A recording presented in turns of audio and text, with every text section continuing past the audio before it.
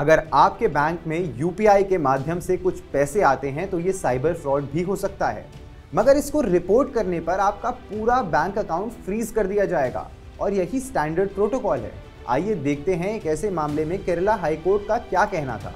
Kerala high court के justice Devan Ramachandran एक batch of petitions पर सुनवाई कर रहे थे और उन्होंने बैंक्स को निर्देश दिया कि बैंकों को उन व्यक्तियों के संबंध में जारी किए गए फ्रीजिंग आदेशों को सीमित करना होगा।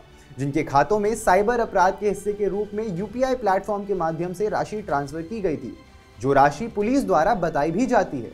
जस्टिस रामचंद्रन ने यह भी कहा कि वो समझ नहीं पाए कि याचिकाकर्ताओं के पूरे बैंक खाते क्यों फ्रीज करने पड़े, जबकि मांग पत्र में उनके खातों में जमा की गई सटीक राशि का उल्लेख है। याचिकाकर्ताओं ने दावा किया कि उनके खातों को फ्रीज करने के कारण यूपीआई प्रणाली में बिज़नेस करने वाले लोगों का भरोसा हिल गया है और इसके लिए सेफगार्ड्स की मांग की गई।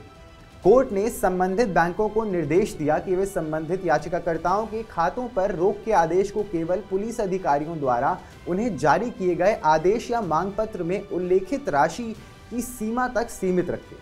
पुलिस अधिकारियों को संबंधित बैंकों को ये सूचित करने का निर्देश दिया गया कि क्या याचिकाकर्ताओं के, खातों को इसी प्रकार फ़ीस करना आवश्यक होगा। इस प्रकार याचिका का निपटारा किया गया। ऐसी ही ताज़ा अपडेट्स के लिए फॉलो करिए लाइव लॉ को और बने रहिए हमारे साथ।